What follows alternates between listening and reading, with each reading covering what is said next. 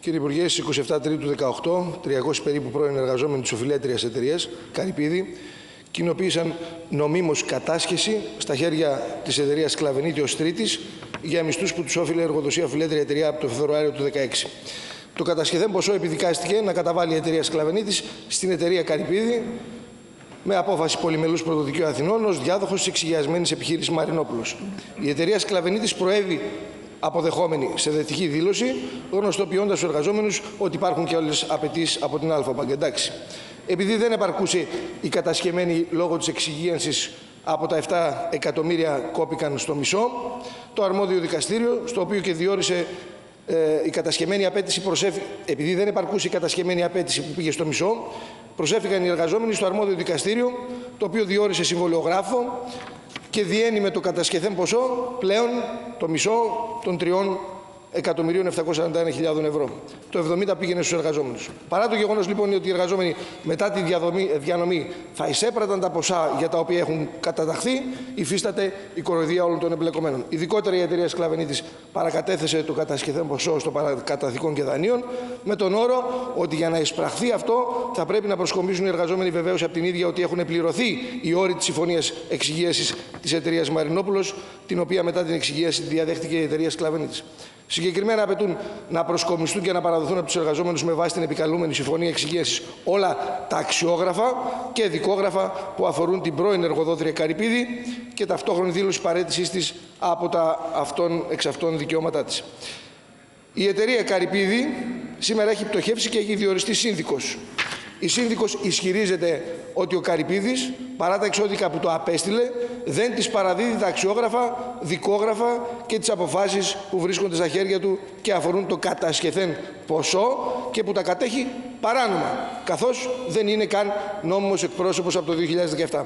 Οι εργαζόμενοι οι οποίοι ούτε γνώριζαν ούτε έχουν πρόσβαση σε αυτά που ζητάει ο σκλαβενίτης δεν μπορούν να εισπράξουν τα ποσά που τους οφείλονται νόμιμα με βάση τον πίνακα διανομής. Δεν έχουν εισπράξει τίποτα από τα δεδουλευμένα τους, απολύθηκαν από την πτωχευμένη εταιρεία και εμπέζονται από όλους αυτούς. Με βάση τα παραπάνω, ρωτάστε κύριε Υπουργέ, σε ποιες άμεσες ενέργειες θα προβεί η κυβέρνηση για να εισπράξουν τα ποσά που νόμιμα κατέσχεσαν οι πρώην εργαζόμενοι της εταιρείας Καρυπίδης.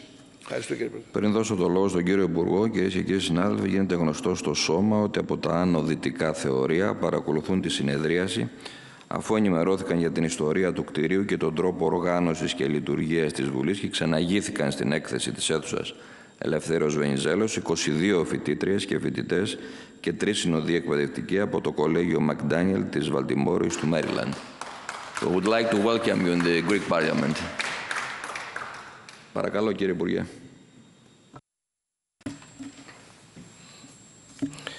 Κύριε συνάδελφε, μακάρι να είχα την αρμοδιότητα, όχι τη γνώση, να απαντήσω επί όλων των θεμάτων.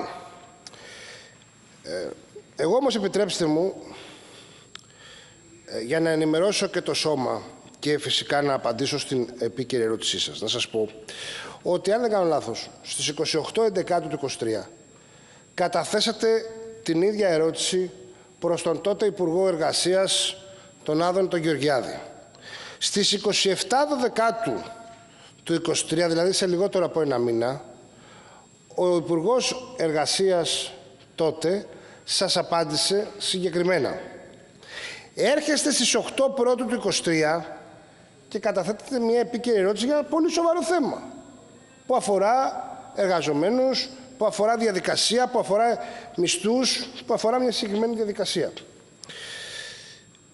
Και ευχαριστώ πολύ για την ερώτησή σας. Όμως, θέλω να σας πω ότι η αρμόδια διεύθυνση επιθεώρησης εργασιακών σχέσεων Κεντρικής Μακεδονίας με έχει επισήμως ενημερώσει ότι με το τι έχει προηγηθεί ε, όσον αφορά το συγκεκριμένο θέμα.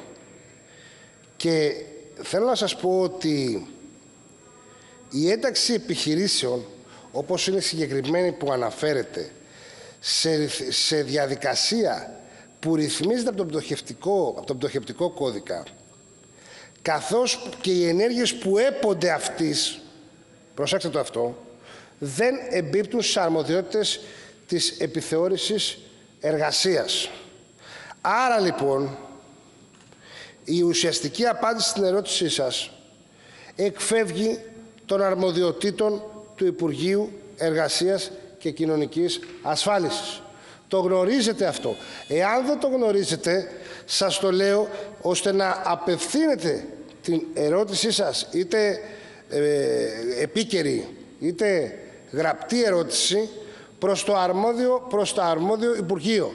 Δεν έχει αρμοδιότητα λοιπόν το Υπουργείο Εργασίας και Κοινωνικής Ασφάλισης και το συγκεκριμένο θέμα το οποίο έχετε θέσει σας απαντήθηκε στις 27 Δωδεκάτου από τον τότε Υπουργό Άδωνη Γεωργιάδη λέγοντάς σας ότι η αναφερόμενη επιχείρηση έχει μεταπέσει στη νομική κατάσταση της πτώχευσης οι, επιπτή, οι επιπτώσεις της οποίας ρυθμίζονται από τις διατάξεις του πτωχευτικού, του πτωχευτικού κώδικα. Όσοι είναι νομικοί αλλά και όσοι γνωρίζουν βασικά νομικά και οικονομικά καταλαβαίνουν τι σημαίνει αυτή η διαδικασία. Άρα λοιπόν αυτή είναι η απάντηση που έχω να δώσω στην επικαιρή ερώτηση που καταθέσατε. Ευχαριστώ. Το λόγο έχει ο κύριος Σολτίδης για τη δευτερολογία του. Κύριε Υπουργέ, πρέπει να θα μου επιτρέψετε να πω ότι η απάντησή σας είναι εξοργιστική και σας καθιστά το τρίτο μέρος του εμπεγμού των εργαζομένων. Ξέρουμε το πτωχευτικό κώδικα, έχουν τελειώσει όλα αυτά, έχουν δικαιωθεί οι εργαζόμενοι, έχει γίνει η κατανομή, πρέπει να πάρουν τα λεφτά και παίζει παιχνίδι Σκλαβενίτης και Καρυπίδης στην ανταλλαγή των αξιογράφων. Τόσο απλά. Δηλαδή να πάμε στενά στο δικαστικό, στο, στο Υπουργείο Δικαιοσύνης, έχει στενά περιθώρια, θα μας πει αυτή είναι η διαδικασία. Συνεχίστε τις δικονομικέ μάχες, οι οποίες μπορεί να διαρκέσουν και 5 και 10 χρόνια. Αυτό θα κάνουμε τώρα. Εμείς απευθυνόμαστε στην κυβέρνηση μέσω του Υπουργείου Εργασίας. Αυτοί οι εργαζόμενοι είναι 1.200.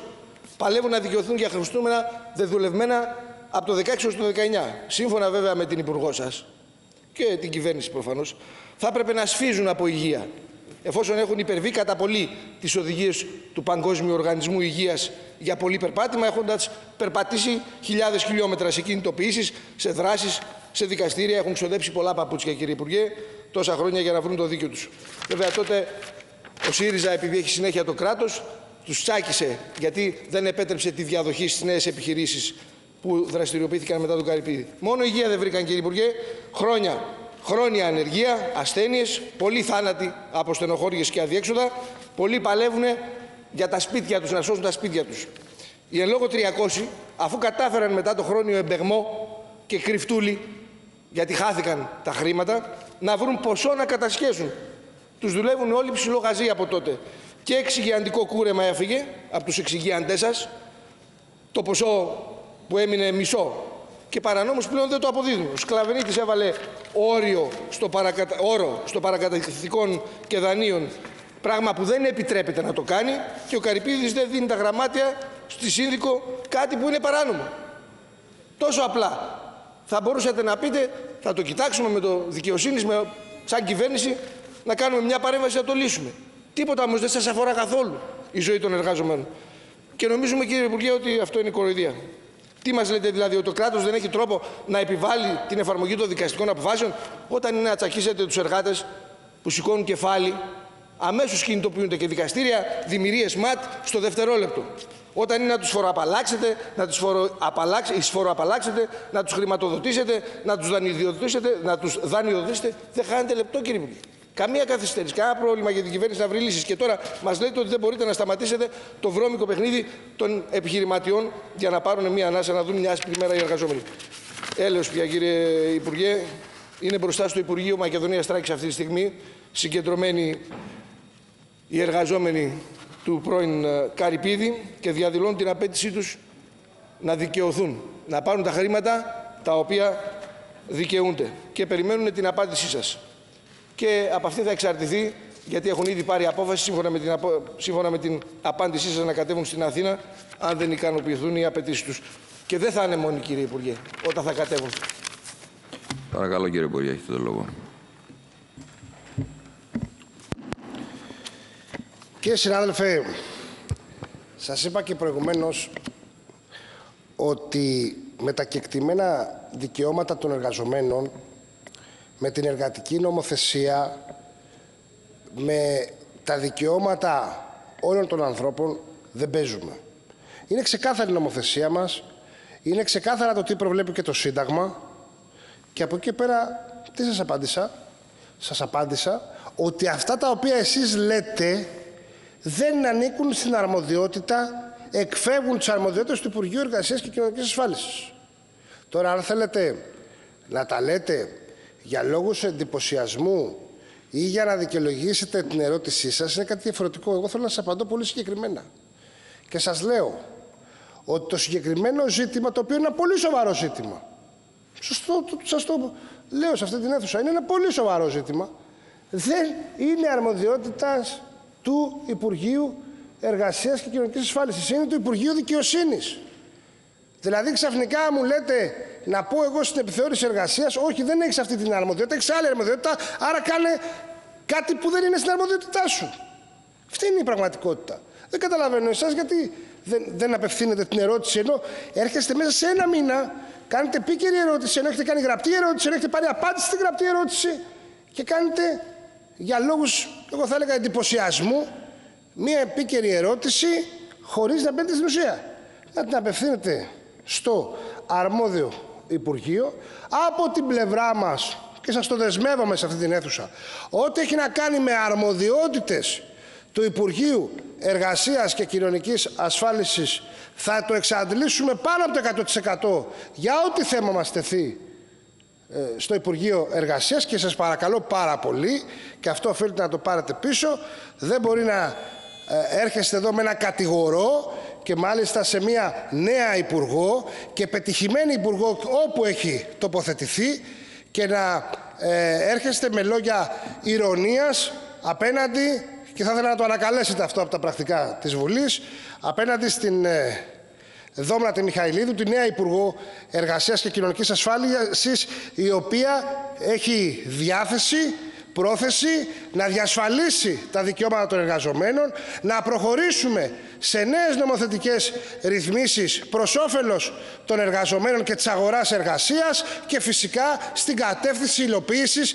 του κυβερνητικού προγράμματός μας που είναι μία ξεκάθαρη η μείωση των κενών θέσεων εργασίας μέχρι το τέλος της τετραετίας να φτάσει η ανεργία και κάτω από το 8% και φυσικά ένας άλλος βασικό μας κυβερνητικός στόχος επειδή βρισκόμαστε λίγες εβδομάδες πριν την τέταρτη αύξηση του κατώτατου μισθού με κυβέρνηση Νέας Δημοκρατίας, να πάμε τον μέσο μισθό στα 1.500 ευρώ μέχρι το τέλος της τετραετίας και θα το καταφέρουμε. Άρα λοιπόν, σε αυτή την πετυχημένη πολιτική στην αγορά εργασίας, σε αυτή την πετυχημένη πολιτική που μπορούμε να την, να την λέμε και να την προασπιζόμαστε στο Κοινοβούλιο, στους χώρους εργασίας παντού, με αποτελέσματα δεν μπορείτε εσείς να έρχεστε και με λαϊκισμούς να δίνετε ένα μεγάλο κατηγορό σε μια κυβέρνηση που έχει με επιτυχία ε, πετύχει τους στόχους της. Ευχαριστώ πολύ.